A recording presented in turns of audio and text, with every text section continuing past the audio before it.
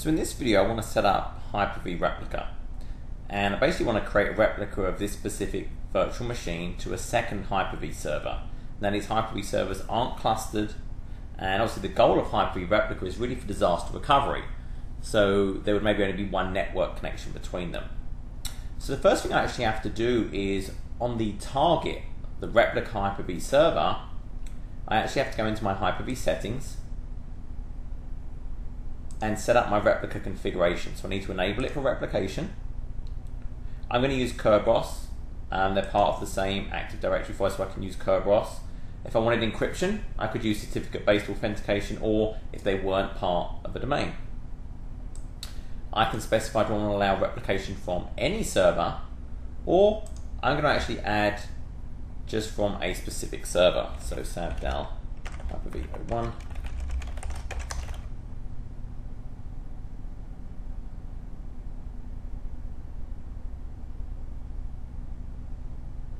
specify a folder.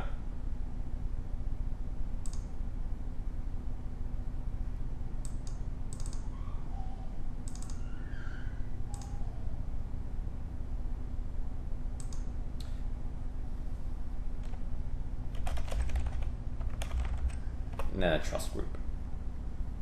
Just a name that I want to basically create these under.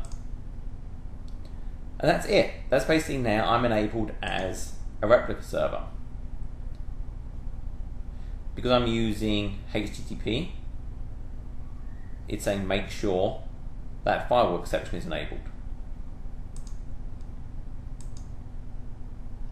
So if I wanted to double check that, I could jump over to my other box. I can actually go onto here, control panel, my firewall,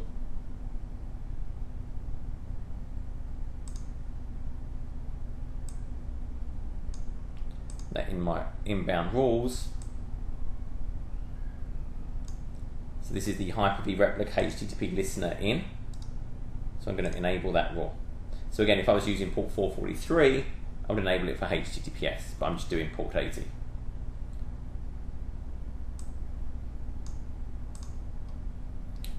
So this server should now be able to accept the replica request. So now on my primary, I'm going to right click the VM I want to replicate say enable replication. I specify the replica server.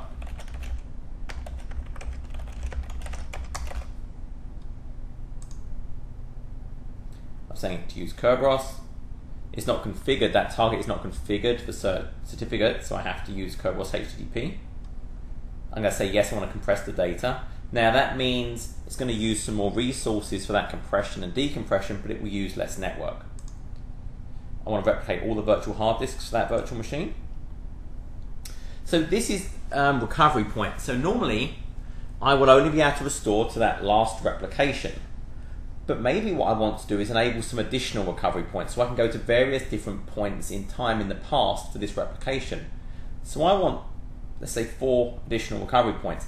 And I would like a VSS replication and so I've got it set to every four hours. So I'm going to reduce that down, let's say every three hours. So basically what that means is every three hours, it will actually issue a VSS effective backup within that virtual machine. So it will make sure everything's nice and consistent on disk. And at that point, it will send another replica over to the target and label that one as an app consistent snapshot. So if you can imagine in a disaster scenario, I'm replicating every five minutes, a disaster happens, I try and start the replica and the data is in an inconsistent state. I could go and select the snapshot that's created on there that says, hey, this is actually for this VSS, and I know it's an app consistent so that I know the data would be good. I'm going to initially copy over the network, but I could also do it to external media. I'm going to start replication immediately. I could have pre-placed the data on the replica server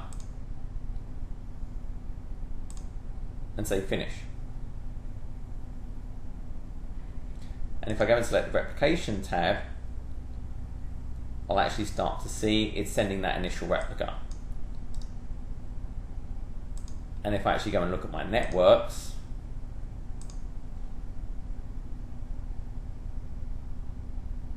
it's throwing it over basically. so it's copying over the network. It's my management NICs. That's the basically the top NIC in my list. And on my target server, I'll see that VM has been created. It's going to be off. It's currently seeding. It's that initial replication. And what it's actually doing behind the scenes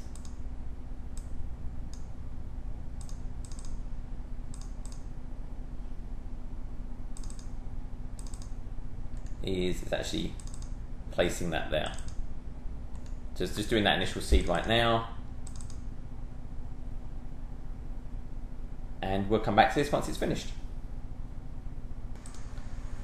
So this initial replication is just finishing up now. We can see it's just sending the last bits of data. It's actually now completed, sending over the network. It's finalizing some details on the target server. And then, so it did that initial copy. And then during the copy, changes happened, so it sent over the, the deltas. And now it's saying the replication is enabled.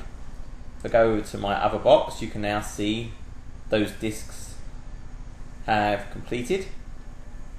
I have the full VHD. The differencing disks get sent over and merged in. And now if I look at that replica, obviously it's off. This is an asynchronous replication. It's replicating the storage. All I can see right now is that initial replica, but what I'll start to see is those previous point in time snapshots. And also I'm going to need to wait a while for that initial VSS. But I can now come in, I can look at that virtual machine, I can look at the settings, and because it is a replica, I have access to the failover TCP IP configuration. So I could actually configure that VM to have an alternate IP configuration when it's activated. And that would actually inject itself into that guest virtual machines configuration for our integration services. So that was it. That was configuring a replica. And what I'll actually do is, so that, that's up and running. I'll come back to this much later to actually show you what those additional snapshots look like and I'll actually wait until we see one that has uh, an application consistent, so one of those VSS snapshots taken within it.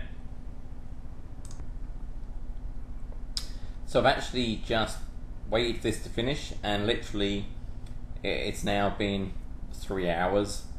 So you can see every hour it's created, because I selected the option to have various point in time replicas, if I ever had to fail over, I could fail over to various points in time. And the last one, every three hours, I selected is an application consistent replica. So this was one where the VSS writers within the virtual machine were called, and then it synchronized the changes over. So I know in a disaster, at least every three hours, I have this application consistent.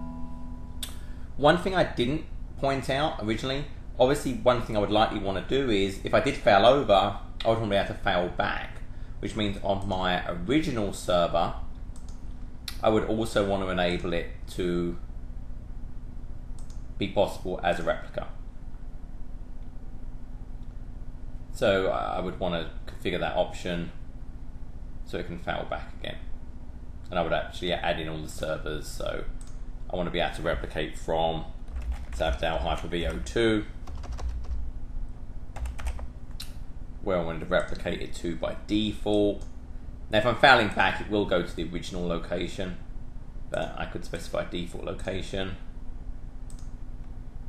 I don't remember what I called the original group.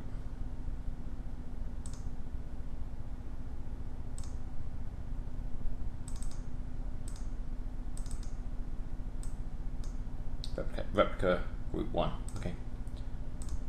I'll give it the same name. So now if I needed to, I could fail back, providing I obviously I, I go and enable that firewall exception within there. So that was it. That was Replica, and it's up and running. Thank you.